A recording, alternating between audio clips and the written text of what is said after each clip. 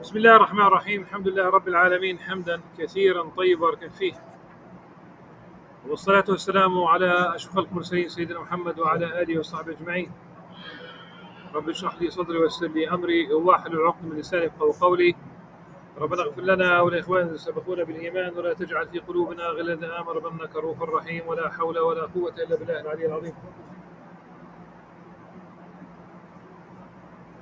قرأنا شيئا يسيرا من البيان أقسام به العجب.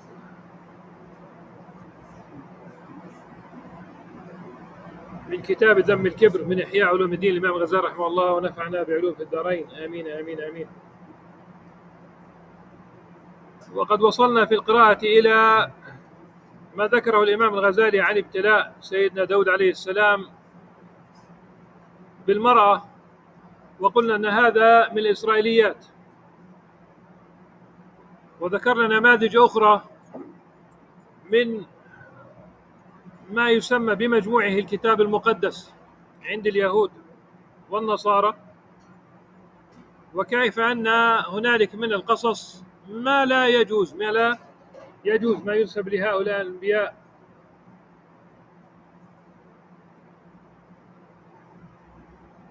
نعم. لم يصبر قال لم يصبر.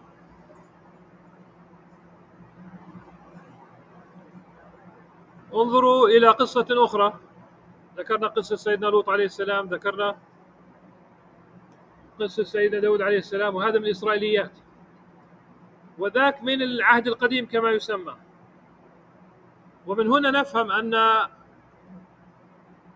كون القرآن الكريم مهيمنا على ما سبقه من الرسالات هو لأنه دخلها التحريف دخلها التحريف والتغيير والتبديل فلا يمكن نسبة هذا إلى الأنبياء عليهم السلام. ومثال من من الأناجيل. يعني هم اختصروها واختاروا أربعة أناجيل. فيها أن المسيح عليه السلام وهو في بيت فاجو. ما بين العزرية وبديس والطور. يعني هالتل فوق. وبيت فاجو فاجو من كلمة تين باللاتيني حتى باللغة الإنجليزية اليوم تقول فيك. جاء سيدنا المسيح عليه السلام وحق له أن يجوع. بشر حق له أن يجوع. كان يأكلان الطعام. هو السيدة مريم عليها السلام القديسة. نعم. فرأى شجرة تين فرأى شجرة تين فذهب إليها فلم يجد عليها تينا ناضجا. بسيطة. اللي عنده تين باب الدار في الحكورة في البستان. بينزل عليها التين. الأصل فيها ينزل الصبح بدري مش هيك؟ وجد عليها تينا ناضجا يأكل. لم يجد يحدث نفسه يقول مثلا هذه منمره يعني غدا إن شاء الله إيش بتكون؟ نضجت. يحدث نفسه بكلام بكلم يحدث نفسه. وإن كان معه حدا من أهل الدار يحدثهم ويحدثونه ولكن ما ينسب المسيح عليه السلام لا يجوز. إحنا قلنا قضية قضية الصبر. لم يصبر والمسيح عليه السلام هنا لم يصبر فلعنها. وهذا لا يجوز. شخصية المسيح في حب وفي مع إنه قال لبني إسرائيل أنه أتاهم بالسيف. جاء إلى خراف بني إسرائيل الضالة وجاءهم بإيش؟ بالسيف. لعن الشجرة. دعاء نبي. عندهم حتى ليس فقط نبيا هو عندهم هو ابن الله أحد الأقانيم الثلاثة هو الله. لذلك المسيح السيدة مريم عليه السلام تسمى عندهم أم الرب. هكذا يقولون. ف ضربها صاروخ ارض أرض لاجتينة انحرقت احترقت يبست. بعض الاناجيل قالت من يومها وبعض الاناجيل قالت إيش من اليوم التالي. هذا لا يجوز. هذا لا يجوز. حتى أن بعض القساوسة قال سألت عن القصة هاي قال هذا كناية عن بني إسرائيل أنه لا يوجد فيهم ثمرة. ناضجة يعني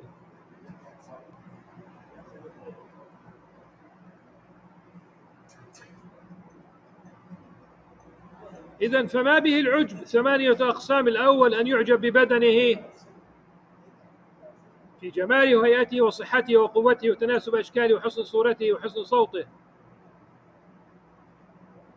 لا يلتفت إلى أن كل هذا نعمة من الله عز وجل وإلى زوال. لو أنك تزوجت أجمل امرأة في الكون هذا الجمال الخارجي ماله إيش؟ إلى زوال ولو أنك كنت أوسم شاب في البلد وحصلت على جائزة الكمال أجسام و و وإلى آخره كله إلى زوال فعلاجه كما ذكر الإمام الغزالي يتفكر بالأقدار التي يحملها. بدايته ونهايته. يعني تفكر في بدايته ونهايته. قال الثاني القوة والبطش.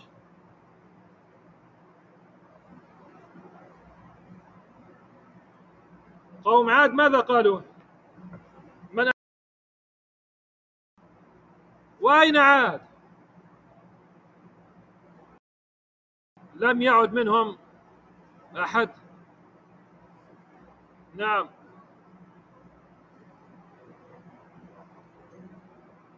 وكما اتكل عوج على قوته وأعجب بها فاقتلع جبلا ليطبقه على عسكر موسى عليه السلام.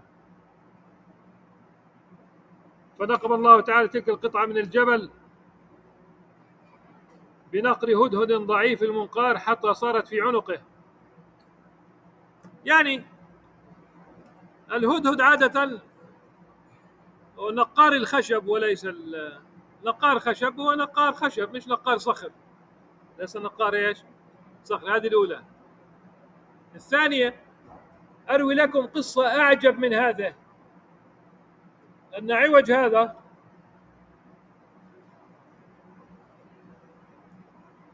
أمسك بالحوت من قاع البحر وشواه في عين الشمس. قال شو عرفك إنها كبيرة؟ شو عرفك إنها إيش؟ كبيرة.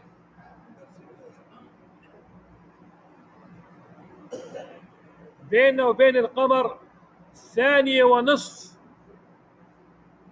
بسرعة الضوء. بيننا وبين الشمس ثمانية دقائق بسرعة الضوء. يعني لو مد يده شو يعني؟ يد عوج هذا توصل 94 مليون ميل فهذا غير مقبول هذا غير مقبول. قال الإمام الغزالي عن قضية القوة. والآن حديث متفق عليه. وقد يتكل المؤمن أيضا على قوته كما روي عن سليمان عليه السلام أنه قال لأطوفن ليلة على مئة امرأة. ولم يقل إن شاء الله تعالى فحرم ما أراد من الولد. لا تعمل أبو عنت يعني عنتر و والزير سالم والأمر لله عز وجل. قد يكون رجل عاجزا في بعض قوته وينجب. مش بالضرورة يكون إيش؟ يعني أضعف المخلوقات تنجب.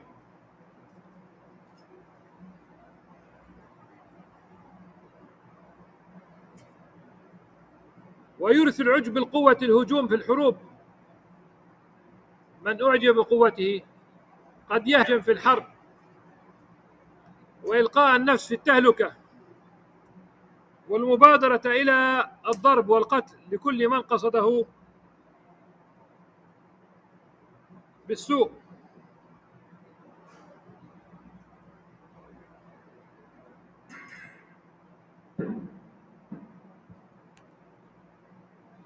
والاصل هذا يذكرنا ب آه، بعد نهاية الحرب الباردة. هي رجعت من جديد بصورة أخرى. كانت بين أمريكا والاتحاد السوفيتي. والذين انضموا لهؤلاء والذين انضموا لهؤلاء لما انتهت بانهيار الاتحاد السوفيتي ظن بعض المفكرين في الغرب أن الأمر انتهى.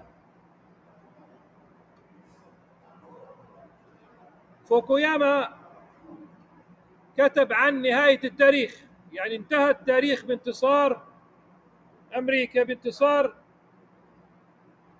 المبدأ الليبرالي الرأسمالي الديمقراطي حسب ما يعرفون.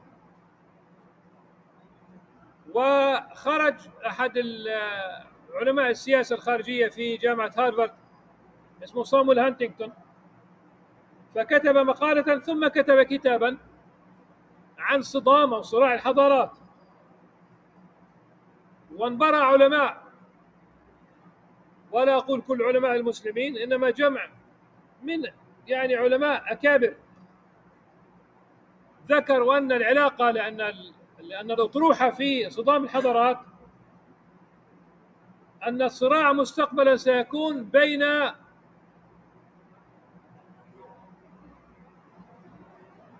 الثقافات المختلفة. يعني ترك البترول وترك المعادن وترك المعابر الاستراتيجية وترك. فقال أن الصراع سيكون بناء على الثقافة المختلفة. وهذا غير صحيح. علماء المسلمين مع ان البعض اعجبته القضية ما دام إنه فيها صراع خليها. علماء المسلمين الكابر جزاهم الله خيرا قالوا لتعارفوا.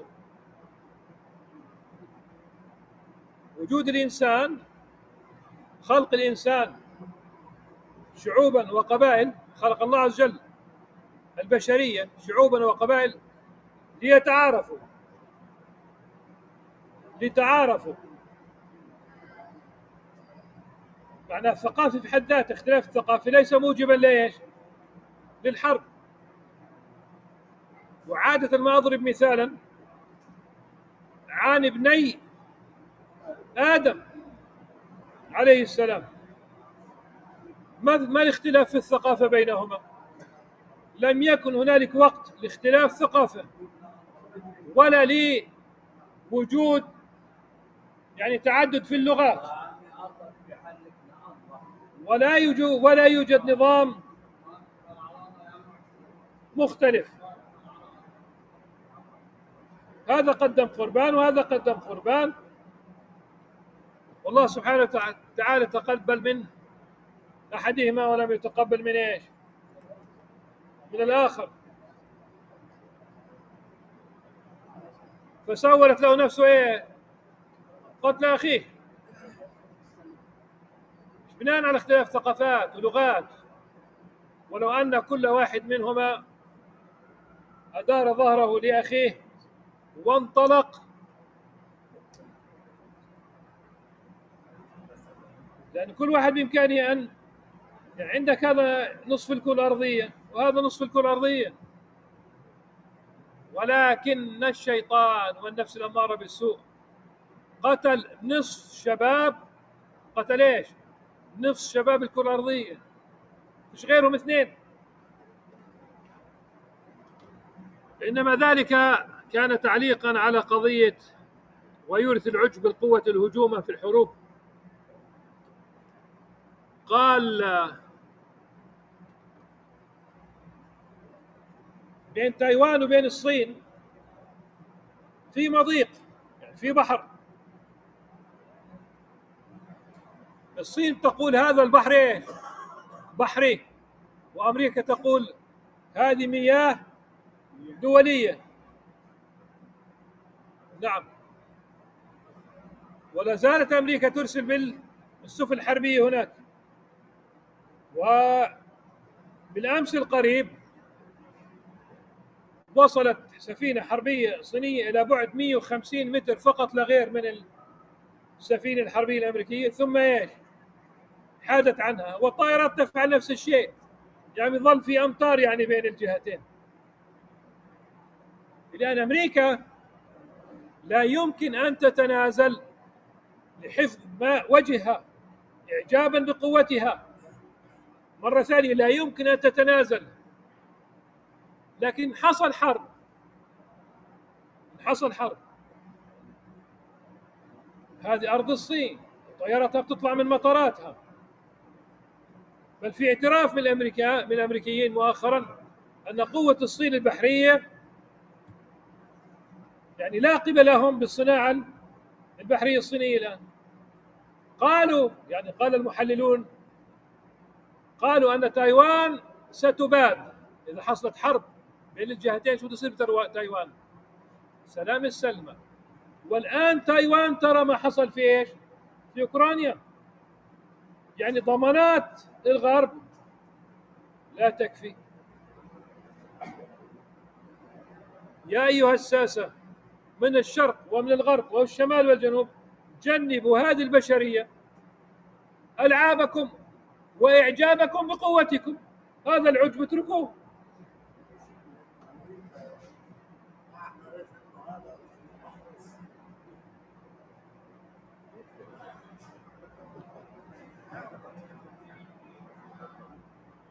قال ويورث العجب القوة الهجوم في الحروب وإلقاء النفس في التهلكة. والمبادرة إلى الضرب والقتل لكل من قصده بالسوء. وعلاجه ما ذكرناه أن يعلم أن حمى يوم تضعف قوته. الإمام غزالي يتحدث الآن عن الإنسان. ولكن قياسا على ابن خلدون في المقدمة ويقارن الدولة بالإنسان لها طفولة ولها شباب ولها إيش؟ شيخوخة. أما الإنسان حمى يوم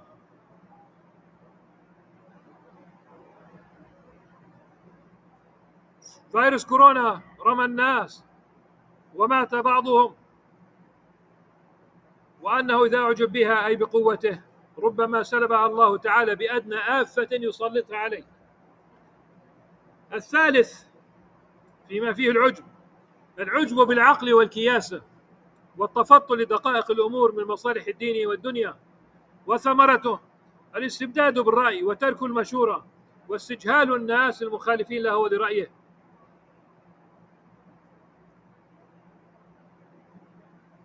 ويخرج إلى قلة الإصغاء إلى أهل العلم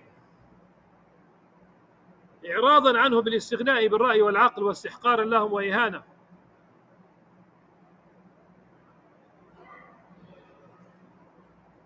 وعلاجه أن يشكر الله تعالى على ما رزق من العقل.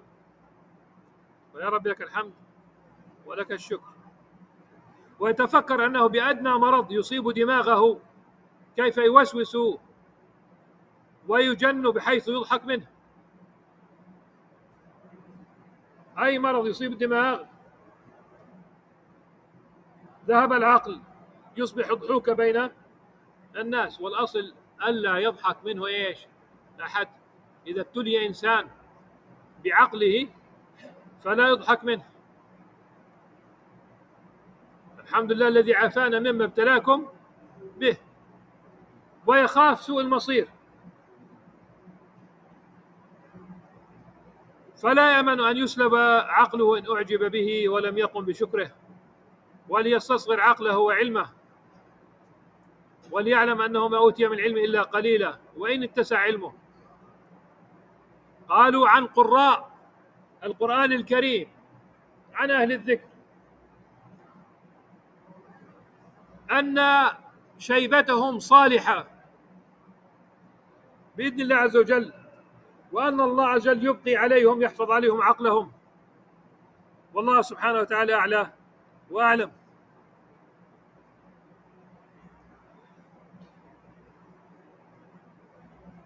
وليعلم أنه ما أوتي من العلم إلا قليلا وإن اتسع علمه.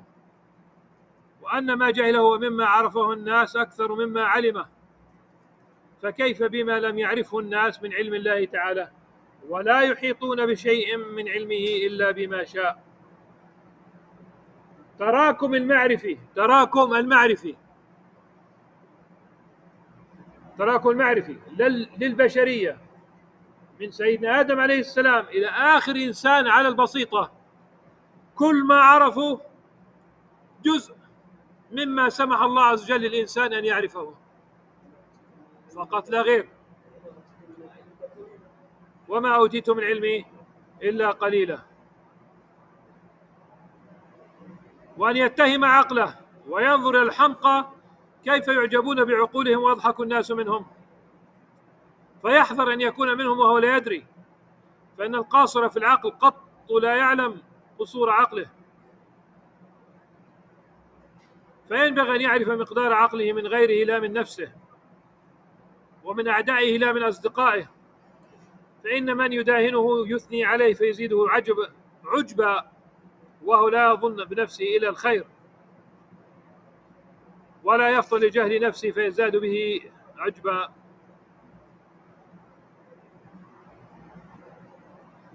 العاقل إن نصحته تقبل. الفطن الكيس الفهم. العاقل النصح تقبل. إن سمع مسألة من عالم يتقبل قضية علمية محض أو قضية دينية يتقبل من العلماء. وبعض الناس يقول لك أنا غير مقتنع. تذكر الآية يقول لك أنا غير مقتنع. يصر إعجاب بالنفس.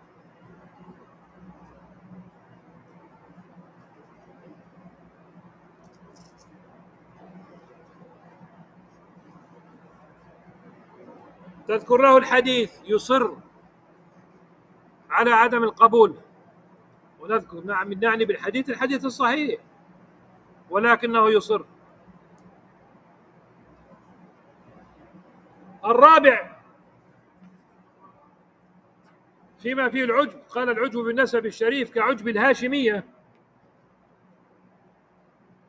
ويشمل ذلك العلويين والطالبيين والجعفريين. حتى يظن بعضهم أنه ينجو بسبب شرف نسبه ونجاة آبائه.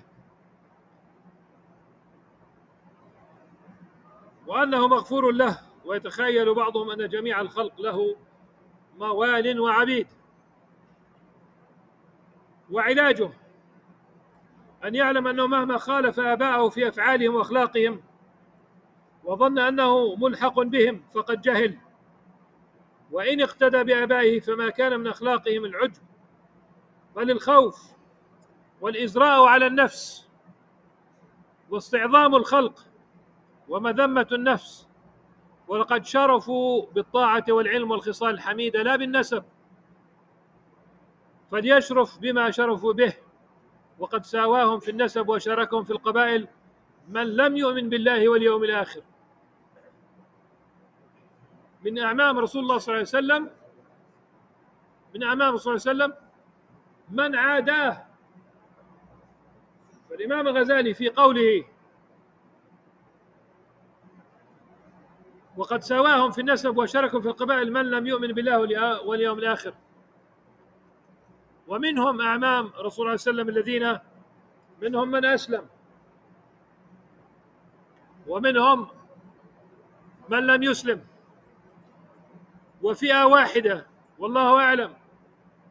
لم يسلم ولكنه نافح عن رسول الله صلى الله عليه وسلم. أبو طالب.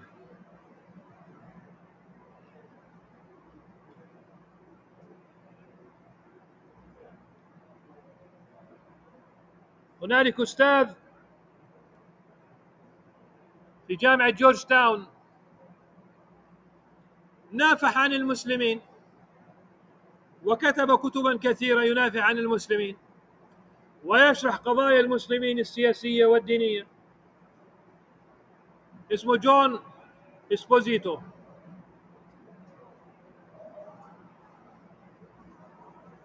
وكنت حاضرا حينما أكرمته الجالية الإسلامية في شيكاغو في مؤتمر فوصفوه قال قال متحدث اسمه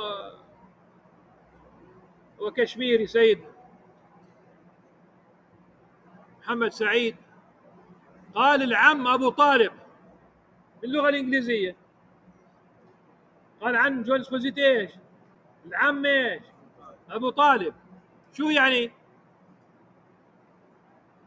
ذاك أن أبا طالب نافح عن سيدنا الرسول صلى الله عليه وسلم نافح عن الإسلام عن المسلمين ولكن هو لم يسلم. لا إله إلا الله.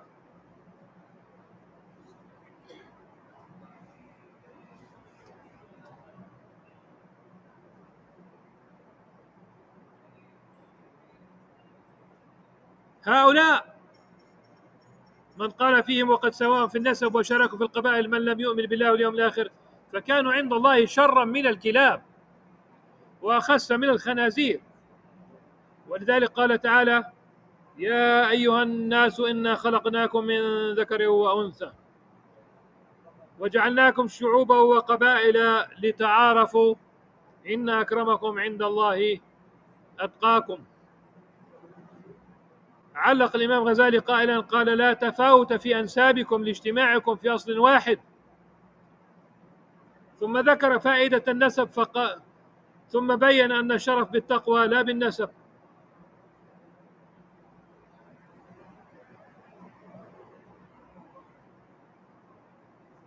دخلت على مصور في العيزرية بحاجة أنا إلى صور لجواز سفر.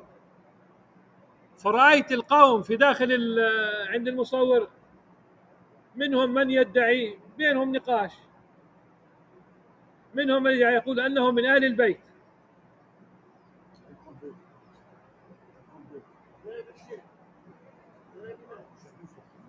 يدعي. هي امرأة. بغض النظر.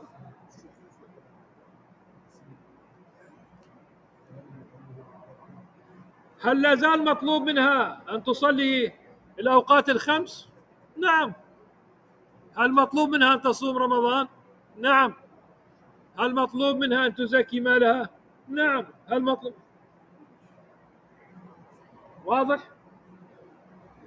إنزال الناس مكانتهم هذا مطلوب. لكن هو بينه وبين نفسه. فليعمل يعلم أن عليه إيه؟ بل العكس. إذا عرف بين الناس بأنه من آل بيت فعليه أن يسلك سلوكا كآل البيت. ونعني بآل البيت آل بيت رسول الله صلى الله عليه وسلم.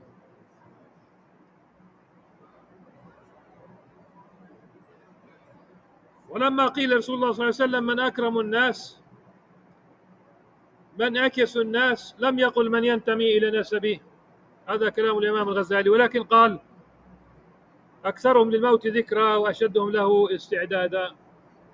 وكأنه بهذه الصيغة هنالك ضعف في إسناده.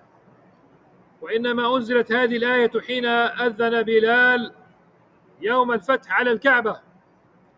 فقال الحارث بن هشام وسهيل بن عمرو وخالد بن سيد هذا العبد الأسود يؤذن. فقال تعالى إن أكرمكم عند الله أتقاكم. الحارث بن هشام وسهيل بن عمرو وخالد بن سيد لا زالوا يعيشون إيش؟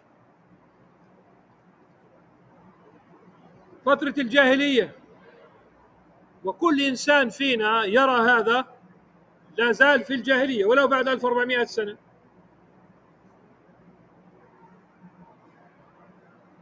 سبحان الله.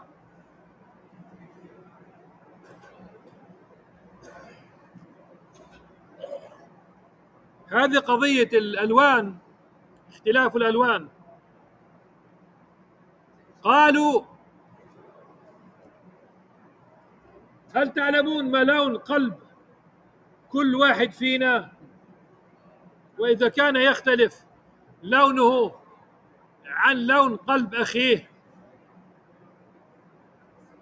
يعني الناس ظاهرها الأبيض والأحمر والأسود وال والقمحاوي اللي هي دمغة أهل بلادنا اجمالا. هل تعلم ما الفرق بين لون قلب هذا وهذا وذاك لا يوجد فرق. لا يوجد فرق. إنما الفرق بين قلب هذا وهذا. إذا كان هذا القلب قد نكت به شيء من الذنوب وهذا القلب زكي طاهر. إن أكرمكم عند الله أتقاكم. سبحان الله. أخوة الدين لم تبقي شيئا لاختلاف الألوان إلا أنها ذكرت في القرآن الكريم على أنها آية. كما الألسن تعدد اللغات آيات دالة على الله عز وجل. يعني تحتفي بها. ماذا تعني؟ تحتفي إيش؟ بها. ولا تميز. لا تميز عند التوظيف لا تميز. والتمييز ليس فقط بالألوان.